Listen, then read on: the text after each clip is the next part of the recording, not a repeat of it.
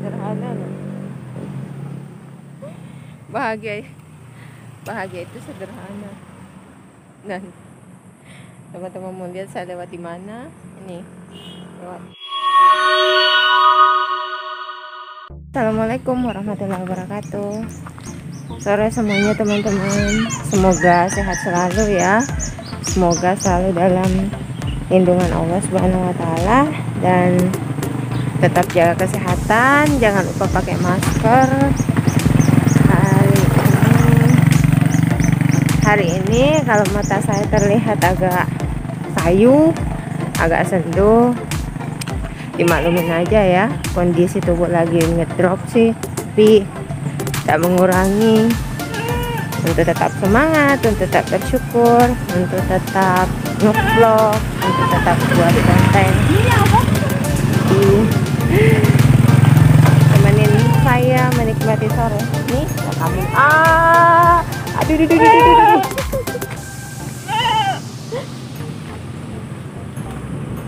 Jadi di pinggir jalan itu ada kambing ya.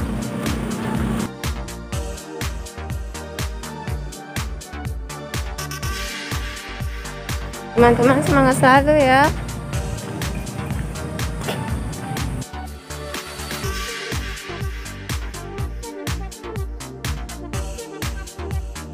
Dan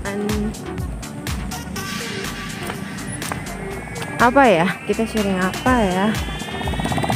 Dan jangan lupa untuk selalu bersyukur untuk setiap nikmat yang Allah berikan kepada kita untuk bersyukur.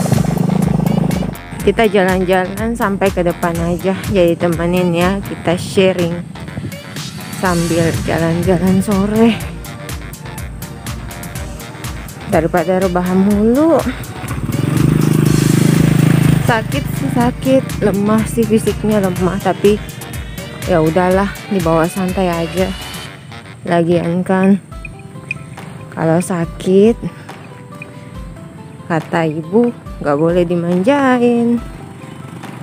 Jadi ya nikmatin aja lah. Yang jelasnya kita harus banyak bersyukur menyembuhkan luka fisik dan luka hati itu berbeda. Banyak yang ketika diuji dengan fisik kuat, namun ketika diuji dengan uh, hati, ujian hati, ujian perasaan, mereka kah apa ya? Akan down, akan menyerah, akan putus asa. Iya dong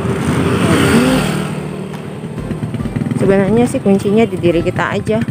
Lebih banyak mendekatkan diri dengan Allah. Lebih banyak muhasabah diri.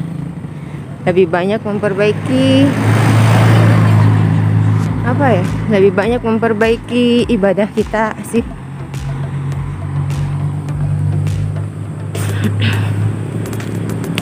Kalau aku waktu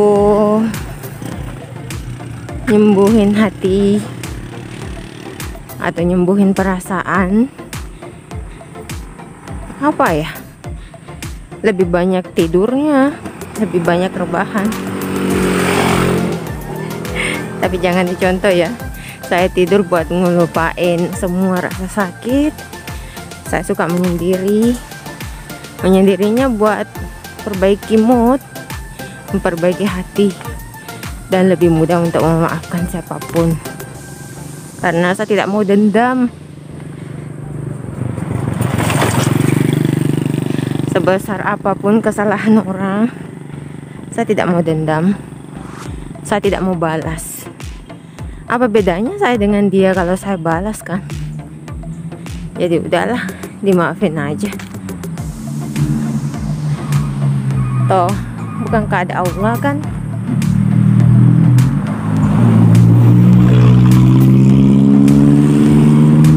teman-teman. Jangan lupa pakai masker ya. Wah, meskipun sesak sih tapi namanya juga jaga diri. Kita melindungi diri dan orang lain kan. Apalagi kita masih berdampingan dengan covid. Kita nggak tahu virus apa ya.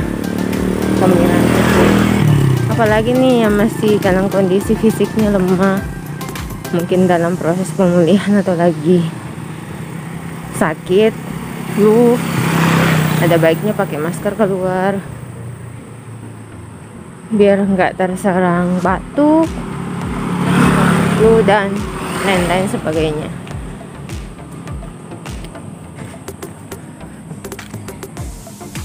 Semangat ya. Kita jalan-jalan sore aja.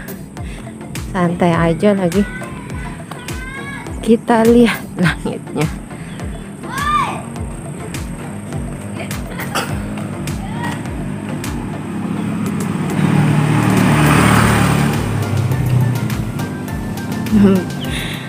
kemarin juga banyak nanya nggak bosan kah sendiri terus enggak udah terbiasa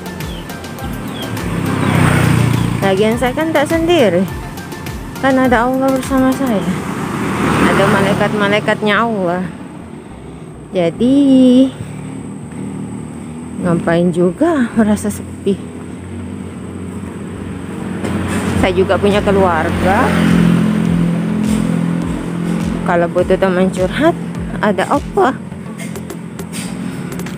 Tapi teman-teman jangan kebanyakan curhat di media sosial ya. Yang ada bukannya.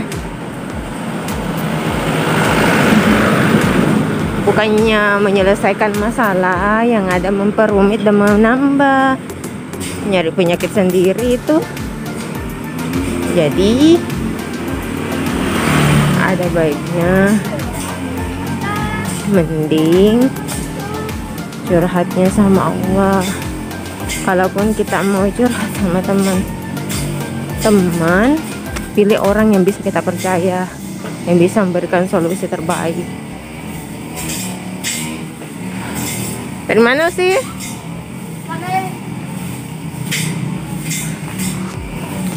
Keponakan tadi nah ini nih masjid yang kemarin tempat apa ya? Tempat sholat id. Sebenarnya sih di lapangan tapi karena hujan deras jadi di tempat ini itu pun sholat idnya hujan-hujan kita. Jadi siapa yang lari? Dikira kambing. Eh, tapi lebih bodoh lagi kalau beren apa ya? Lebih bodoh. Lebih bego lagi kalau diam yang ada dikatain nanti kambing bodoh ya udah lanjut. Intinya dinikmatin aja sih. Masalah apa pun entah itu besar kecil entah itu masalah di keluarga antara teman antar pasangan atau antar dengan siapa pun lah. Intinya banyakin istighfar. Makanya ketika kita diuji dengan ujian kesusahan ataupun ujian nikmat ucapkan kalimat istidraj yaitu innalillahi wa inna ilaihi rojiun kemudian banyakin istighfar. Astagfirullahaladzim atau apa ya ada kalimat yang ringan dan pahalanya itu masya Allah sungguh besar. Kalimat subhanallah walhamdulillah wala ilaha illallah wallahu akbar la haula wala quwata illa billah. Itu. Dan saya ingat banget ketika ujian hidup saya. Apa ya?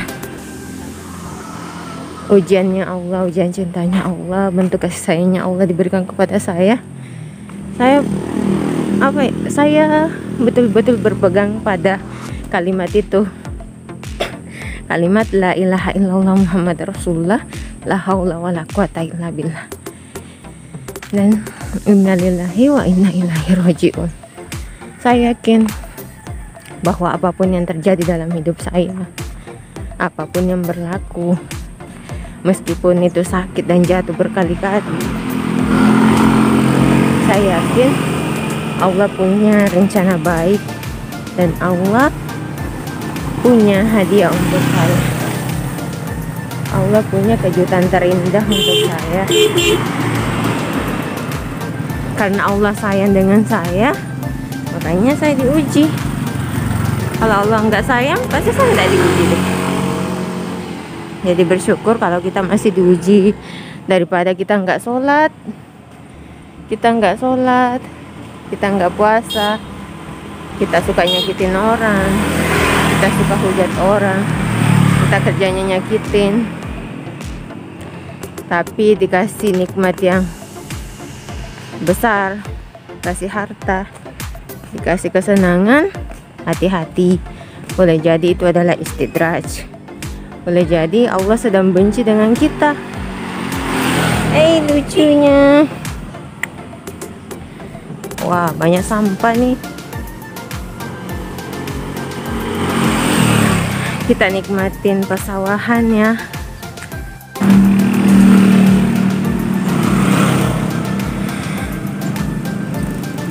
ini salah satu cara saya untuk menenangkan hati. Buat fisik saya lebih strong. Kayak gini. Nikmatin indahnya alam. Jalan-jalan. Jadi sekedar info ya teman-teman ini saya sudah nyampe di jalan besar nggak nggak terasa. Padahal niatnya tadi cuma mau pelan-pelan.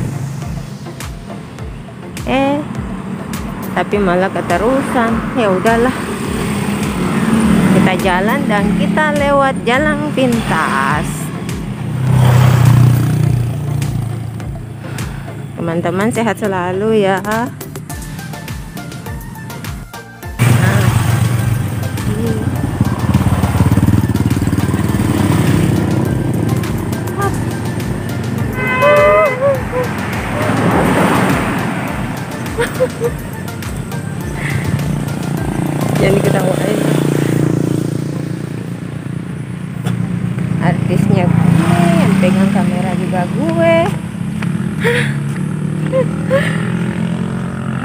Allah. Hati-hati nih. Ada tikungan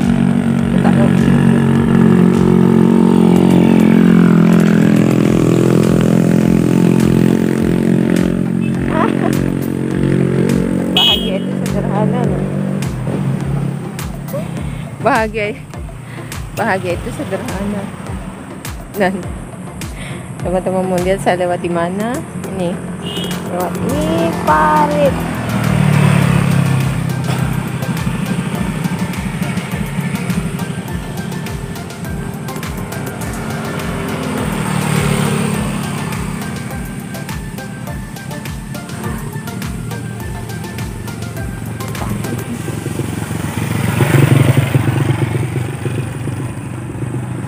sebenarnya kan niatnya pengen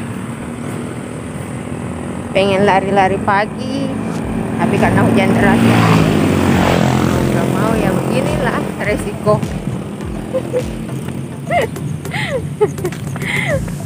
Aku diketawain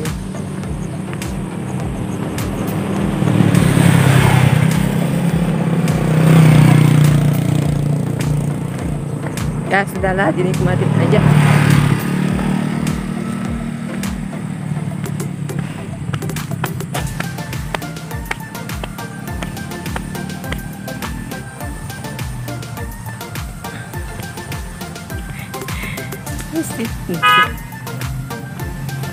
kamera di sana muka aku ke mana?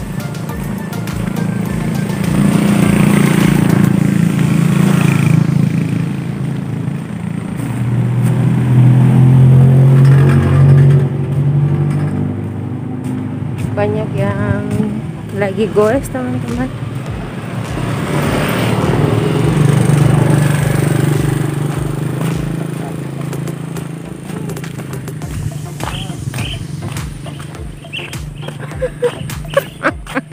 aku diketawain oh my god. Jadi youtuber gini-gini amat gue ya.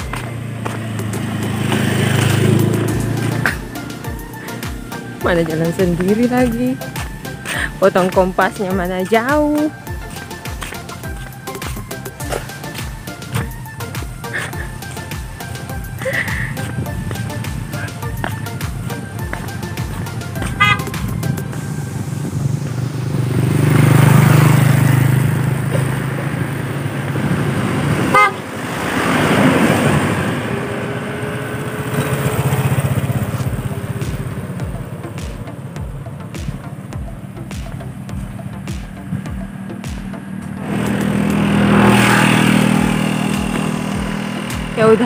aku balikin kameranya ke ke belakang. Rimpung gue. Teman-teman maaf ya. Jalan rame banget. Yang ada aku diketawain. Padahal mau ngambil ini. Supir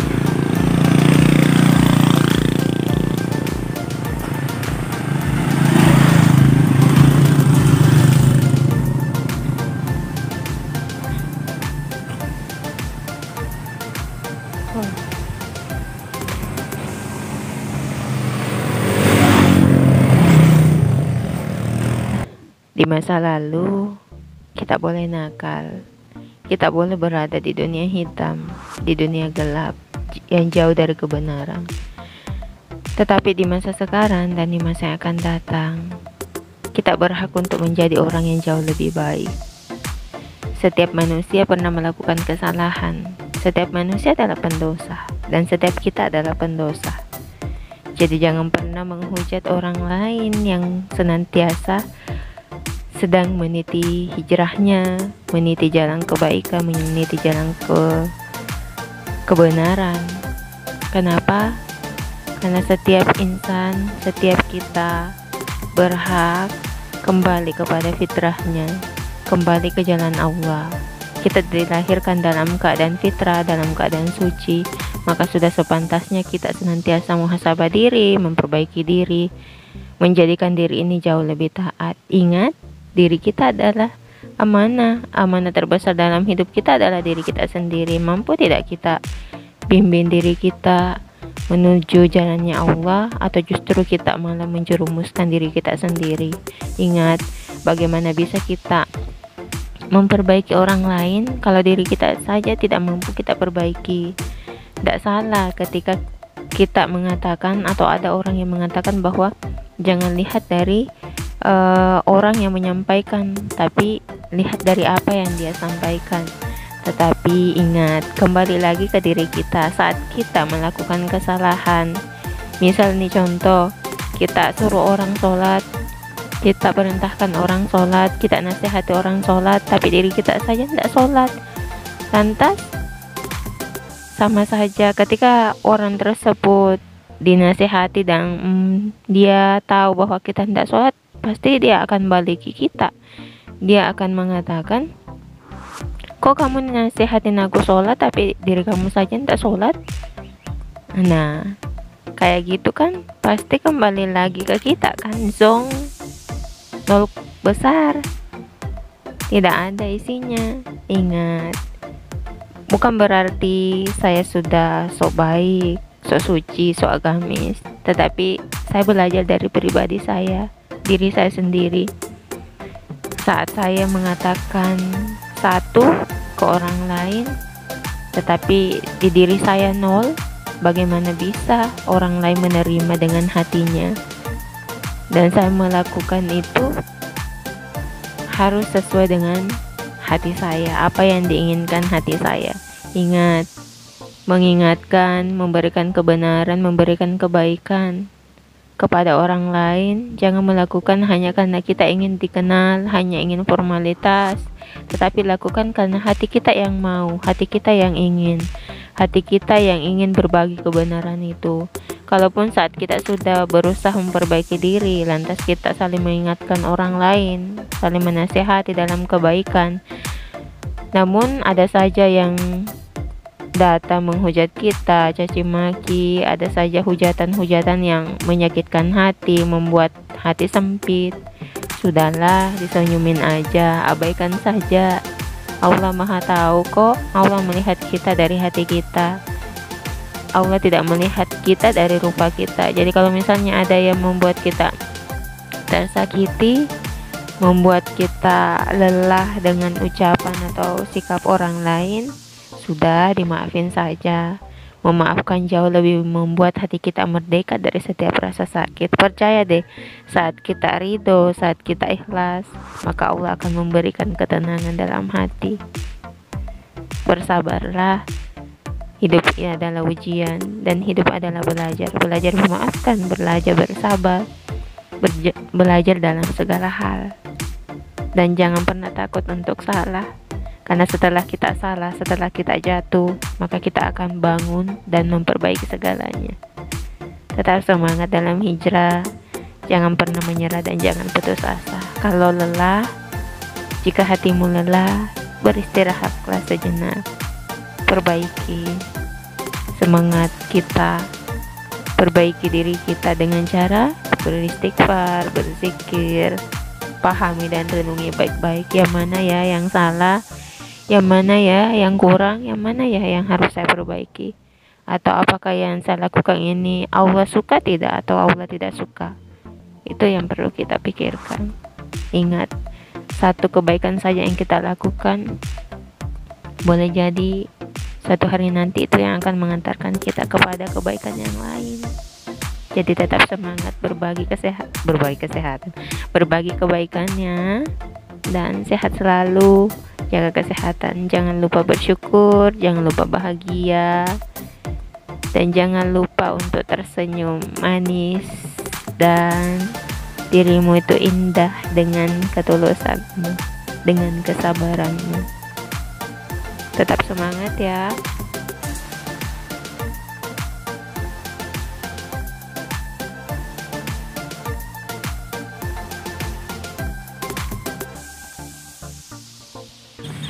aku lewat mana lewat sana lewat sana.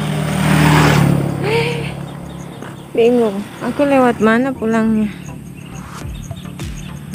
Gagal. Gagal lewat jalan pintas. Daripada anjing lagi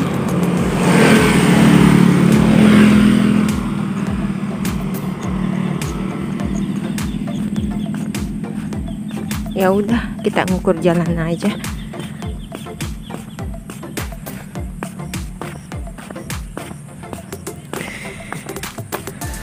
bahagia itu sederhana tidak perlu mewah tidak perlu mahal-mahal. Di mana pun kita kalau hati kita nggak tenang nggak bahagia. Loh kalau misalnya mau hatinya tenang ya harus ridho sama takdirnya Allah. Baik itu buruk ataupun baik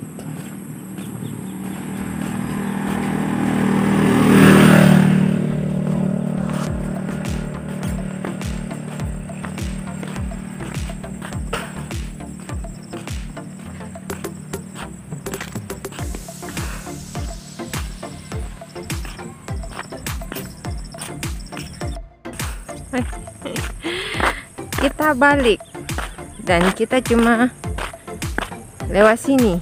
Kita nggak lewat jalan pintas. Jalan pintasnya di sana.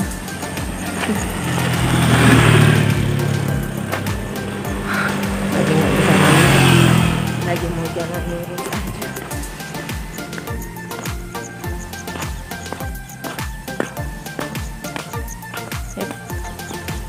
bahagia selalu ya. Jangan lupa bersyukur jaga kesehatan jaga sholat jaga hati jaga hati jaga hati kameranya ke mana oh ya ke mana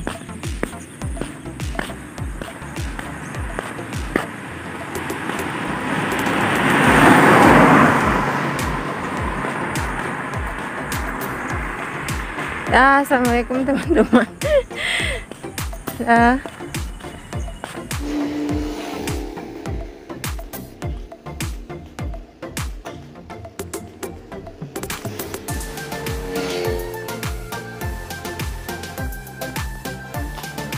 Nih, capek banget.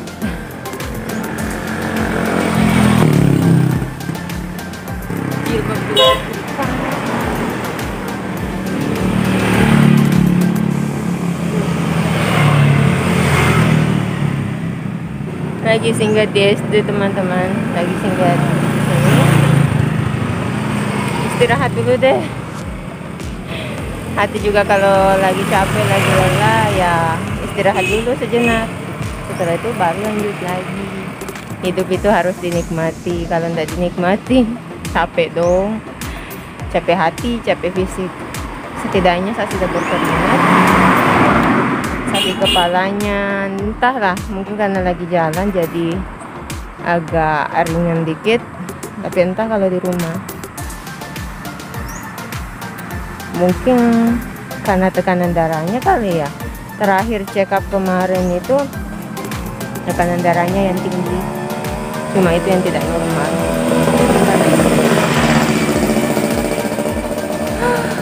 Capek mau buka masker juga banyak debu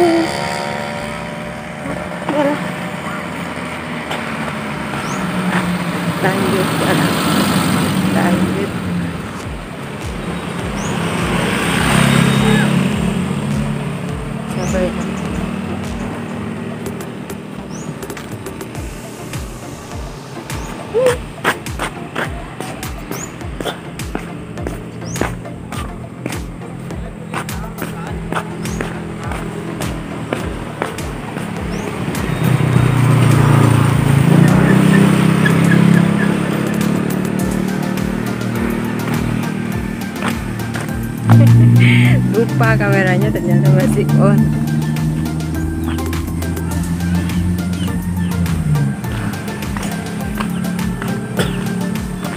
Dah. Aku jalan ya teman-teman. Kayaknya nggak bisa record. Aku mau lari soalnya.